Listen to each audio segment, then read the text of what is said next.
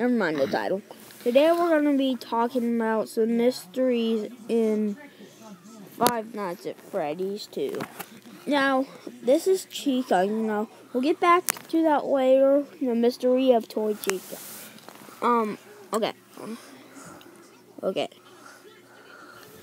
This is Golden Freddy, you know, this Golden Freddy. But why does he have one ear?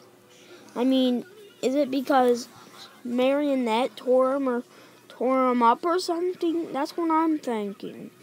Or it could be Chica again. And he has wires sticking out of his head. Well, that's That's creepy. he could have came from Old Freddy or something. He's just golden. That's very, very And now. I'm wondering why Foxy and Mangle are in the hall at the same time.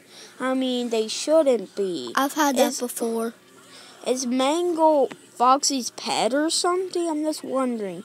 I've had Balloon Boy and and Foxy attacked me before. And, well, yeah, I've been attacked by Mangle before too. Now the last mystery. Yes, this is Photoshop, but um, that yellow part. People are saying that's a little person in his eye, and they're thinking it's actually the endoskeleton or something.